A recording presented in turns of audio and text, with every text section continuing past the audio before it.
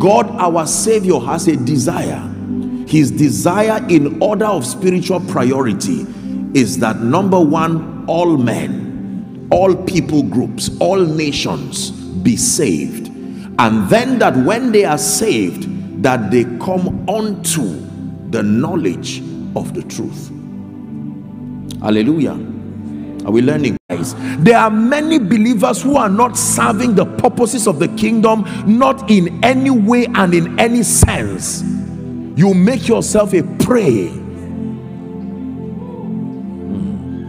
When I sent you, lackest thou anything? There are people who want to deal with lack and they think it's just a financial problem. No, provision was supposed to honor your passion for that service why should god give you 10 million dollars 100 million dollars? What percentage of it supports kingdom come? When i sent you when you agreed to be a laborer did you lack? The journey to transformation is what affects your mind turning you to a believer. But even at that you are still not effective because you cannot perform the mandate of the kingdom as a believer. You will have to transit to become a witness. Hmm. you don't need empowerment as a believer. You need enlightenment and transformation. Empowerment happens when you are a witness. So whilst they were under the tutelage of Jesus he didn't talk about empowerment at all.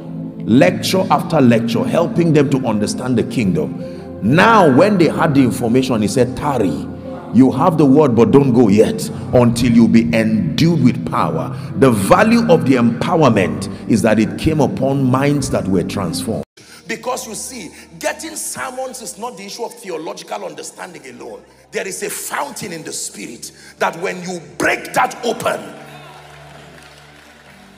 it is in your light that we see light.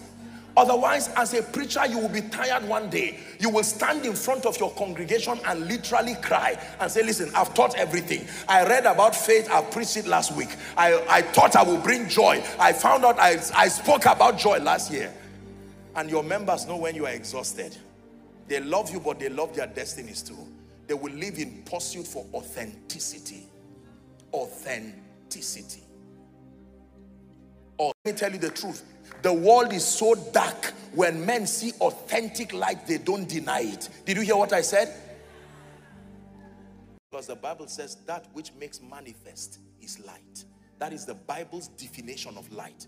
Whatever can drive away darkness, if it has that dominion enough to drive away darkness, then it qualifies to be called light. John 1 9. That was the true light that lighted every man that means there are false lights. They propose liberty, but they do not have the power to drive darkness. It's time for you to get back to the foundation of your spiritual understanding and if need be, to begin to deconstruct certain things. What do I believe about prayer?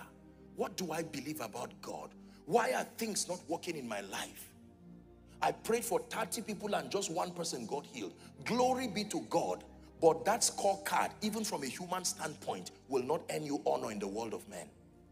No believer, no matter how well intentioned, will excel in life and in any endeavor beyond the level of your experience, the impact of your experience that you have with God is what translates to the excellence as far as your spiritual life is concerned. And like I did say, an encounter with God or an experience with God would help you to know him and that when you know this God truly you will love him. Loving God was never supposed to be mechanical. It was not supposed to be something you prime people and try to force them. It was it was designed to be a reaction.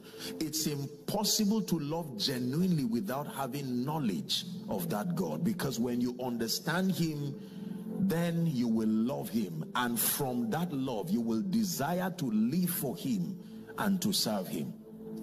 The moment you corrupt this formula, so one dimension per time, that it is possible, ladies and gentlemen, please look at me. A man can get the keys that lead to influence and no nation will close its gates towards you. It doesn't matter the sentiment. You believe me when I tell you this.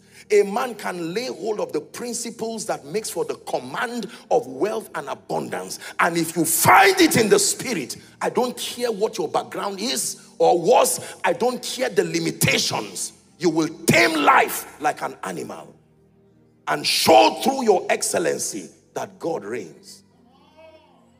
I'm praying for you.